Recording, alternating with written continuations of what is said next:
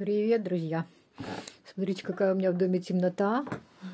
И какая темнота на улице. И целый день идет дождь. И рановато еще темнеть. И что меня удивило, я сегодня уже газ зажгла. Смотрите, что у меня влажность в доме 70%. Вы прикиньте, какая влажность на улице. Окна же закрыты. У меня никогда не было в доме такой высокой влажности. Но влажность должна быть больше 50 по-нормальному, чтобы было польза для здоровья. Сейчас вам покажу еще кое-что. О, взяли у меня тоже тепленько. Все-таки, наверное, запенивание дало свои плоды. Хотя ж я газ включила на самое-самое минимальное. Самое-самое минимальное. Что я вам хотела показать? Открыла я видео прошлогоднее. И в прошлом году в это время у меня цвел вот этот мой молодой декабрист. А в этом году не собирается пока еще цвести, видите?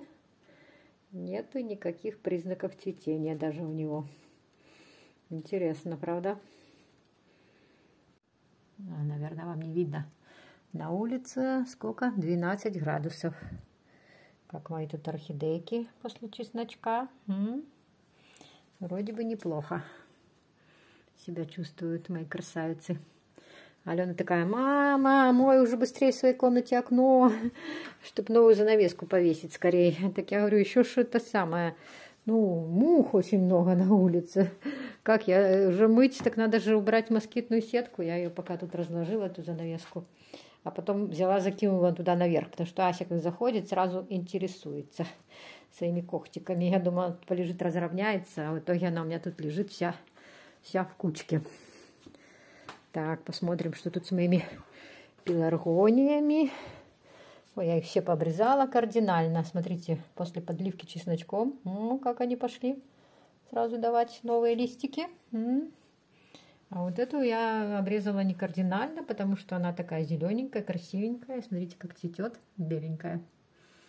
Красавица. А тут что у меня? Отвалился беленький цветочек, видите? Красота. Ой, надо мыть, мыть окна. Окна грязные, особенно вот эти, эти подоконники с улицы. Видите, какие грязные и пыльные, и мухи эти садятся постоянно. Это жуть какая-то. Хотела что-нибудь делать в теплице, потом передумала. Или что-то приготовить вкусненькое, тоже передумала. И решила тут немного навести порядок. Посмотрите. Убрала свою сушилку в коробку и туда, свой склад, там, где погреб потому что думаю, ну что она тут темно от нее, короче, стоит, занимает место. Сюда поставила цветочки свои красивые. Вот такая красота у меня тут. И что я вам еще хотела показать?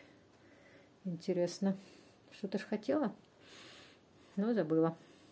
А, хотела показать, смотрите, уже вон бальзамины дали корешки некоторые, которые с улицы забирала, череночки. Так что уже можно их посадить. Но не сегодня. Сегодня что у меня тоже желания нету. На улице дождь, но цветы все еще живые. Посмотрите. Правда, плоховато через стекло видно. Но я зашла.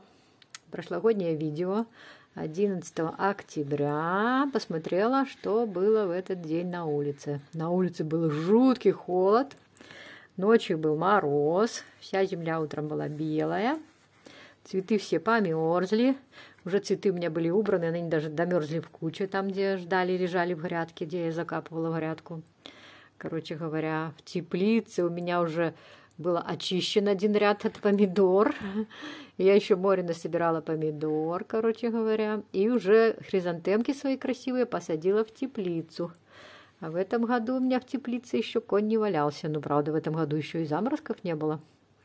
Вроде бы написано, что с субботы на воскресенье ночью будет ноль. Но если будет ноль, то в нашей низине точно будет минус.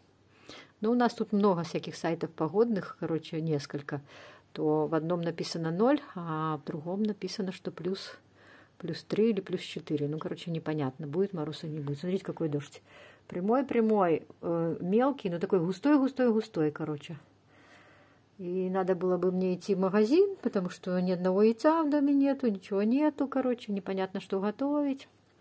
Но я не пойду таким дождем. Может, завтра не будет дождя. Ну, не хочется мне идти дождем, не знаю. А, -а, -а что я вам хотела сказать? Я же позвонила сегодня в санстанцию. насчет этой канавы. И, короче говоря, ну, сказал начальник этой санстанции, сказал, что он позвонит жилищно-коммунальное хозяйство, там все попробует их уговорить, чтобы они нам помогли. Как-то так. Ну, посмотрим, подождем, во что это все выльется. Непонятно. А мне ж надо шаги где-то находить. А где ты дождем находишь? Значит, надо дома или танцевать, или, или что-то делать другое какие-то те самые э, движения, ходьба по дому, туды-сюды, туды-сюды, туды-сюды. Что-то надо делать. Подумала такая, а может пойду пройдусь? Потом не вышла на крылечко. И это кажется из дома, что дождик такой легенький, а дождь, о, дождище. Видите, какой ой, приличный на нос прямо капнула. Зато травка как зазеленела. Смотрите, под дождик. Красота. Да, вообще какая красивая. Ой, обалдеть. Короче, вот такой вот дождь пошел. Так что никуда не иду однозначно. Буду дома выплясывать свои шаги. Набрала самых красивых яблок в своем складе. Сейчас покажу вам. Смотрите, какие красивенные. Вымыла их. Сейчас выберу сердцевину, положу свою любимую начинку и поставлю запекать. А потом что буду делать? сяду, включу свой сериал и буду наслаждаться вот такими вкусными пироженками яблочно-сметанными, я бы так сказала. Еще добавлю немножко орешек. Вот я почистила пару этих макадамиев, короче говоря. Не могу я их грызть, короче. Поэтому я их сейчас измельчу и добавлю в начиночку. Может, еще пару почищу. И будет у меня вкуснятина. Вот так вот.